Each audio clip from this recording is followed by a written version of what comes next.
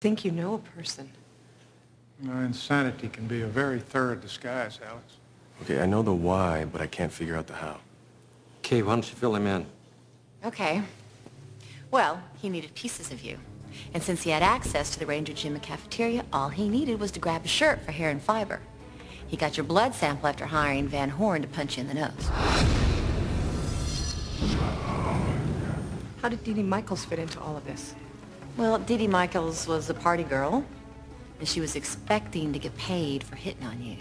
Probably what she wasn't expecting was to get killed in the process. Remember when you picked up her purse at open range? Yeah. Right. Well, that's how you got the prints.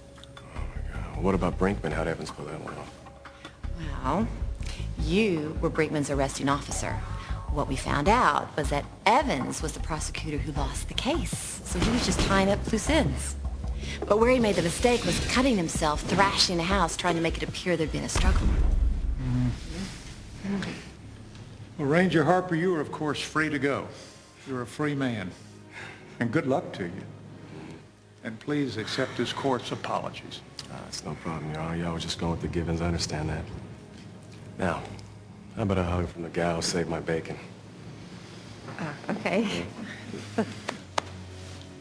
Thank you, Kay. You're welcome. Well, I'm glad it's over. It's the best case I've ever lost. Ranger Harper! Ranger Harper!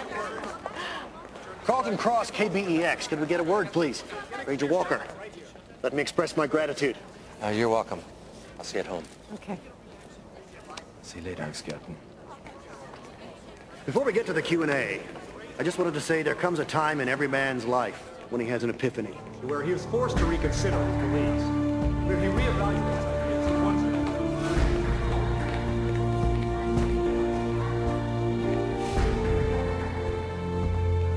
Well, I had one in that courtroom.